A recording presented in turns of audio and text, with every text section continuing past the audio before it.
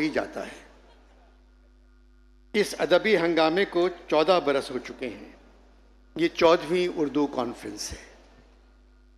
चौदहवीं सुनकर मैं समझा, शाह साहब इस कॉन्फ्रेंस के आखिरी सेशन को गालिब के नाम कर देंगे।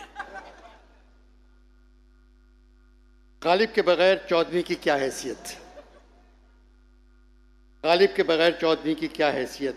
ज़िया मोहुद्दीन साहब गालिब के खतूत लंबे कान, लंबी नाक, बड़ी भवें और कई दिल। जहरा निगाह, घर और गालिब। किश्वर, गालिब के हकूक़ और औरतें।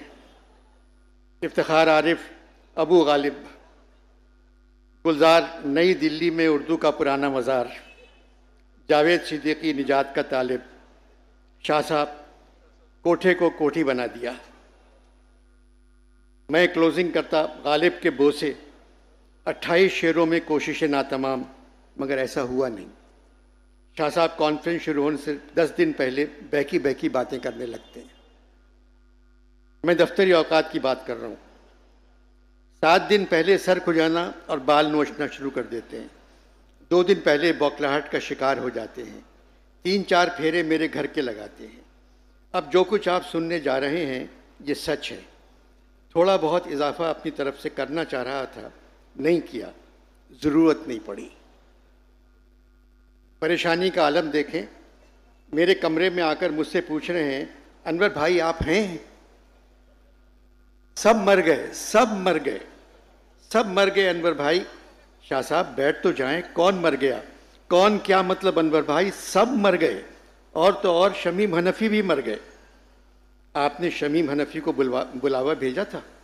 कैसा बुलावा अनवर भाई? वो मर गए। देखिए, मुसलमान शमीम हनफी को वबा कोविड से मरे हैं। वबा से मरने वाले शहीद कहलाए जाते हैं। कराची के हर घर से शमीम हनफी निकल सकते हैं। आप दावतनामा तो भेज के देखें। अनवर भाई, आप मेरी कॉन्फ्रेंस को सियासी रंग ना दें। बहुत परेशान हूँ, सब मर गए। शाह साहब, परेशान ना हो, अदब भी मर गया है। अनवर भाई, उर्दू नहीं मर सकती। आप सियासी लीडरों की उर्दू में तकरीरें सुनते हैं। अनवर भाई तलफ़ मर सकता है, उर्दू नहीं मर सकती। आपको कॉन्फ्रेंस की क्लोजिंग करना है। इस दफ़ा आप किसी और से क्लोजिंग करवा लें। मैं कॉन्फ्रेंस को क्लोज करना नहीं चाहता, अनवर भाई। शाह साहब, थकन साथ नहीं दे रही है। अगले साल वादा करता हूँ क्लोजिंग कर दूँगा। आप इक्यासी बरस क्रॉस कर चुके हैं, इसी साल कर लें। ये काम पाँच सालों से आप ही कर रहे हैं। मैंने अखबारों में पाओ पाओ पेज के इश्तहार छपवा दिए हैं। पाकिस्तान के पचहत्तर साल और अनवर मकसूद। शाह साहब, विफाकी और सूबाई हुकूमत के पूरे पूरे पेज के इश्तहार छपते हैं, कोई नहीं पढ़ता। पाओ पेज कौन पढ़ेगा? अनवर भाई सबको बता चुका हूँ। तकदीर उमम क्या है? नहीं अनवर भाई, आप और आपके ख़ानदान ने पाकिस्तान को पचहत्तर बजर गुजारते देखा। अपने ख़ानदान और पाकिस्तान पे बात करें। शाह साहब, अपने ख़ानदान पर बात करते हुए अच्छा नहीं लगता। और वैसे भी मेरे ख़ानदान ने क्या किया? जिन ख़ानदानों ने पाकिस्तान का नाम पूरी दुनिया में मशहूर किया, जिन ख़ानदानों की वजह से आज हम पहचाने जाते हैं, जिन ख़ानदानों की वजह से हम कहाँ से कहाँ पहुँच गए, उन पर बात करना चाहिए। अनवर भाई, वो कौन से ख़ानदान हैं? शाह साहब, भुट्टो ख़ानदान। शरीफ ख़ानदान और फौज ख़ानदान।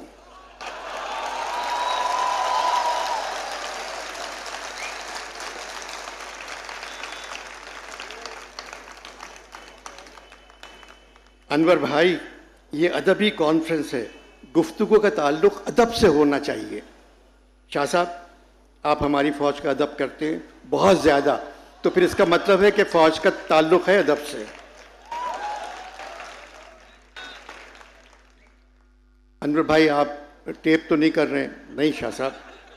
अनवर भाई, जो अदब डर के मारे तहरीर किया जाए, वो इस कॉन्फ्रेंस का हिस्सा नहीं हो सकता।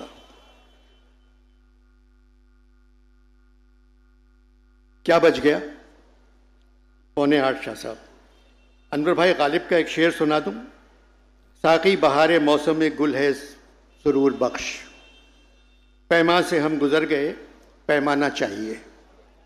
और माफ़ कीजिएगा, शाह साहब, बातों में ध्यान ही नहीं रहा। सारा सामान रखा हुआ है।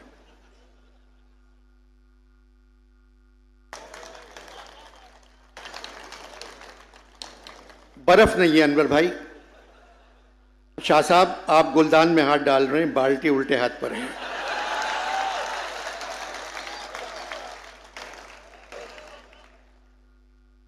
अनवर भाई, दस भाई बहन सबने इस मुल्क की खिदमत की। शाह साहब, दस भाई बहन थे, अब चार रह गए। दो बहनें, दो भाई। ऐसी बात ना करें, अनवर भाई अल्लाह और देगा। शाह साहब माँ बाप भी चले गए। अनवर भाई औलाद अच्छी हो तो माँ बाप खामोशी से निकल लेते हैं। आपकी कोई किताब भी नहीं है। अपनी सरगुजश की तरह सुना दें। शाह साहब 9 नवंबर को इकबाल पैदा हुए थे। 25 दिसंबर को कायद पैदा हो जाएँगे। मैं इन दोनों पर बात कर लूँगा, क्योंकि 75 बरस इन दोनों के थे। अनवर भाई, ये दोनों तो हर साल पैदा होंगे। मेरी बात माने इस दफ़ा अपनी सरगुजश्त। क्या साहब? कैसी शब्द सरगुजश्त। मैं कि मेरी गज़ल में है आतिश रफ्ता का सुराग। मेरी तमाम सरगुजश्त खोए हुओं की जस्तजू।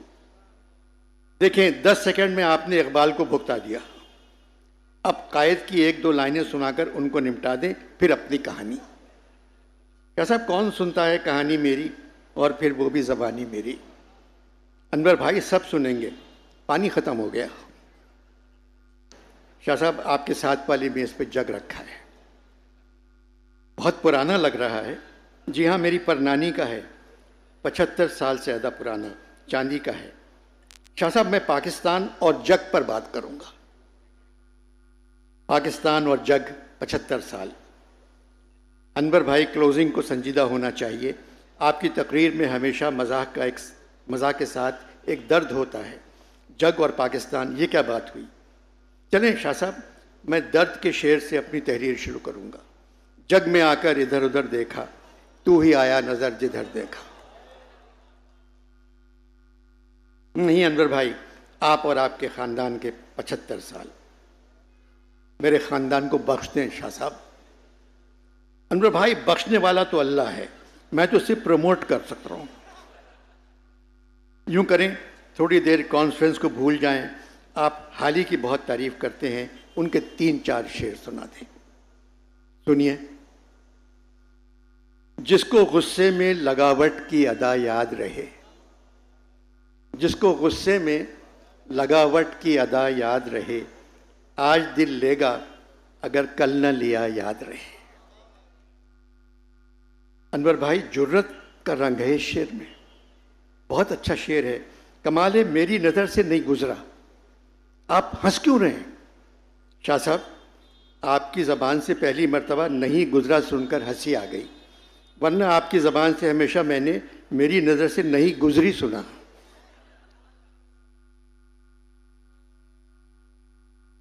अनवर भाई, वो मैं किसी रुबाई के लिए कह रहा हूँगा। और हाल ही सुनाए। पहले मैं आपको गालिब का एक शेर सुना दूँ। ज़रूर शाह साहब, ज़रूर सुनाए। ज़िंदगी में भी रहा ज़ौक़ फना का मारा। नशा बख्शा गज़ब इस सागर खाली ने मुझे। शाह साहब आपका घर है? खाली को खुद पुर कर लें। खाली को मैं देखता हूँ, आप ही सुनाएँ। यारब इस इख्तलात का अंजाम हो बखैर। यारब इस इख्तलात का अंजाम हो बखैर। था उनको मुझसे रब्त, मगर इस कदर कहाँ? अनवर भाई माँ बाप ने इनका नाम अल्ताफ़ हुसैन क्यों रखा? शाह साहब ये एम क्यू एम से बहुत पहले पैदा हुए थे।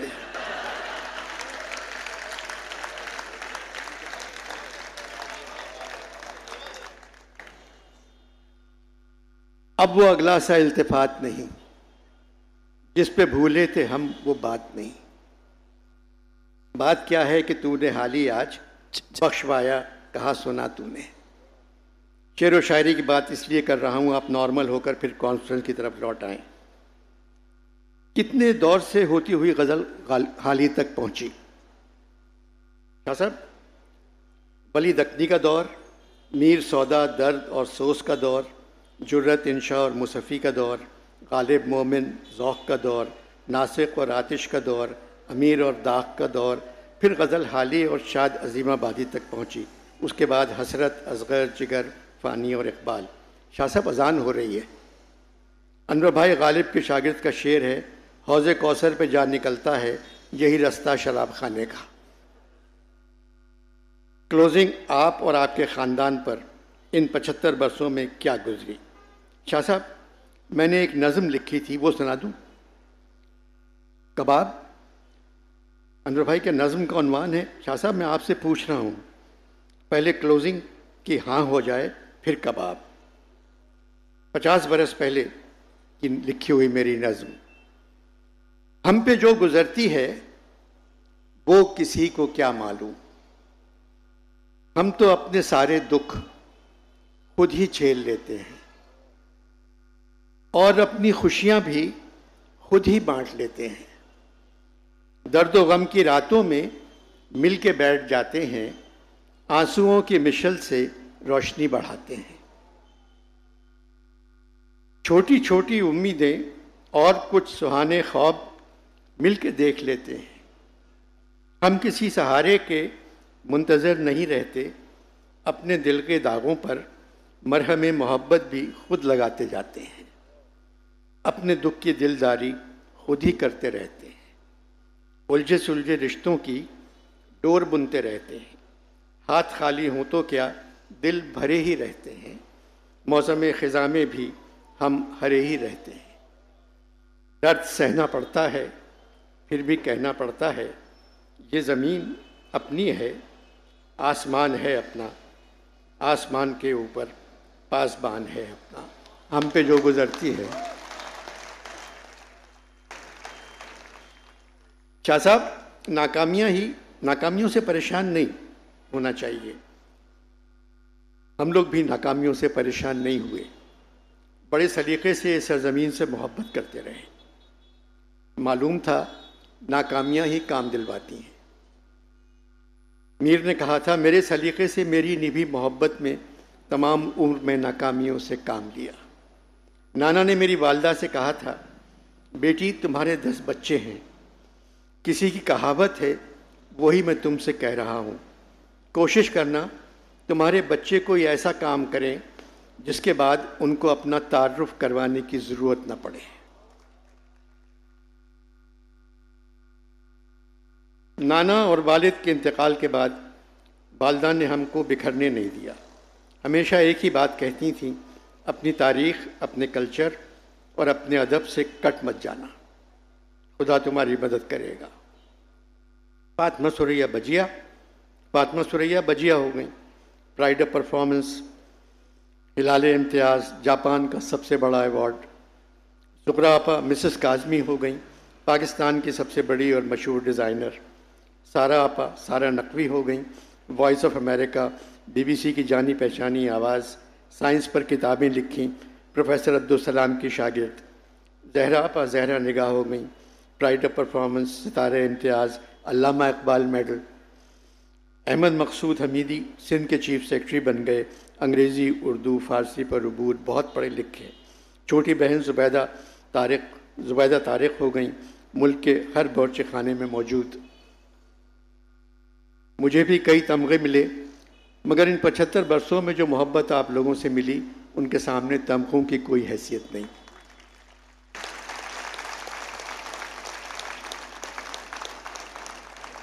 मेरे बेटे और बेटी बिलाल और अर्जुमंद को मेरी बीवी इमराना स्कूल पैदल छोड़ने जाती थी, जो मेरे क्वार्टर से तीन मील दूर था। दोपहर में वापस भी लाती थी। आज बिलाल के दोनों बेटे मिकाइल और खजर दुनिया की बेहतरीन यूनिवर्सिटी में पढ़ रहे हैं। अब अर्जुमन की दोनों बेटियाँ वैनकूवर में कोलंबिया यूनिवर्सिटी में पढ़ रही हैं। ये सब कुछ इस सरजमीन से मोहब्बत का नतीजा है। अनवर भाई, यही सब कुछ सुना दीजिए। आप उर्दू कॉन्फ्रेंस की ज़िंदगी हैं। कैसी ज़िंदगी शाह साहब? मुझसे मत कह, तू हमें कहता था अपनी ज़िंदगी। ज़िंदगी से भी मेरा जी इन दिनों बेजार है। ये गालिब हैं? जी हाँ। दो तीन शेर गालिब के और, फिर कबाब। गो वहाँ नहीं वहाँ के निकाले हुए तो हैं। गो वहाँ नहीं वहाँ के निकाले हुए तो हैं। काबे से इन बुतों की भी नस्बत है दूर की। अनवर भाई, ये शेर कहाँ से निकाला? कुलियात मोमिन से। शाह साहब, गालिब किताब नुस्खे हमीदिया में है। और सुनाए। शौकी हुसन इश्क है आइन दार हम दिगर। शोखी हुसन इश्क है आइन दार हम दिगर। खार को बेनियाम जान, हमको बरहना पा समझ। वाह मिर्ज़ा, वाह अनवर भाई। जोश दिल है मुझसे हुसन फितरत बेदिल न पूछ। कतरे से मैं खाने दरियाए बेसाहिल न पूछ। वाह वाह, ये सारे शेर सुना दीजिएगा। कतरे से मैं खाने दरियाए बेसाहिल न पूछ। शाह साहब, आपका फ़ोन। हेलो? इसको बोल दो कॉन्फ्रेंस में बैठने की जगह नहीं है। गज़ल सुनाने का तो सवाल ही पैदा नहीं होता। महाजिर है? अच्छा कह दो कल सुबह मिल रहे